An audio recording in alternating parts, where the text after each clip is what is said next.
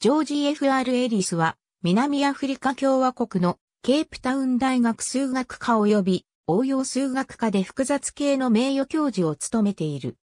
1973年、ケンブリッジ大学の物理学者、スティーブン・ホーキングとの共著 The Large Scale Structure of Space-Time を出版した。宇宙論の世界的権威とされている。クエーカーとしても活発に活動しており、2004年にテンプレトン賞を受賞した。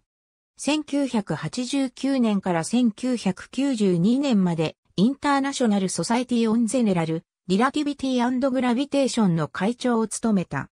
現在はインターナショナルソサイティフォーサイエンスレリジョンの会長である。エリスは1970年代から1980年代にかけて国民党が支配していた南アフリカでアパルトヘイトへの反対を積極的に発言していた。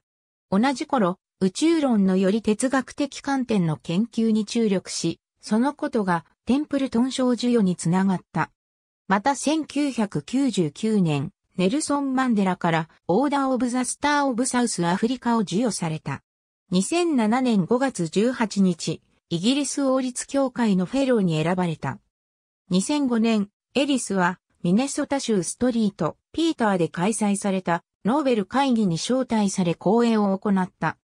1939年、ヨハネスブルグで新聞編集者、ジョージ・レイナー・エリスと妻、グエンドリン・ヒルダ・マクロバート、エリスの間に生まれた。ケープタウン大学に入学し、1960年に物理学科を優秀な成績で卒業。学生時代はフェンシング、ボート、飛行機操縦の選手であった。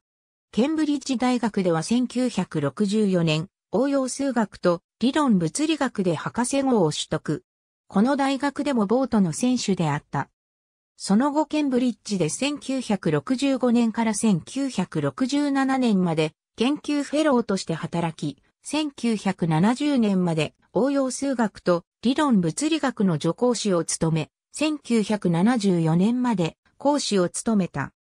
エリスは1970年にシカゴ大学エンリコ・フェルミ研究所の客員教授となり、1971年にコルシカ島のカーリースサマースクールの講師を務め、1972年にはシチリア島のエリック・サマースクールの講師とハンブルク大学の客員教授を務めた。こうして学会での地位を急速に確立した。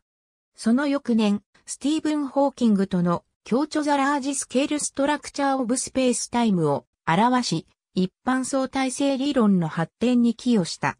その後、ケープタウン大学応用数学科教授の職を得て、南アフリカに帰国し、2005年に退職するまで、その職を全うした。ジョージ・エリスは、リサイクルメカニズムとして、裸の得意点のあるモデル宇宙を提唱した。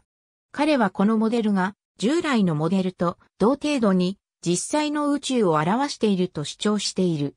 エリスの宇宙は円筒形宇宙に似ているが、地球と裸の得意点が反対側に位置する点が異なる。そこでは宇宙のインフレーションがなく、物質の密度が得意点付近ほど濃いため、銀河の分布は一様ではなく、地球の周りでは極めて薄いとされている。このように物質の分布が偏っていると光の赤型変異が生じ、地球からは核銀河が遠ざかっているように見える。そして地球がなぜ裸の得意点と正反対に位置するかといえば、得意点近づくほど温度が高くなるなど、生物の存在に適さない環境となるため、生物イコール人間が存在する地球は、得意点から最も離れているべきとする。科学哲学の用語で言えば、エリスはプラトン主義者である。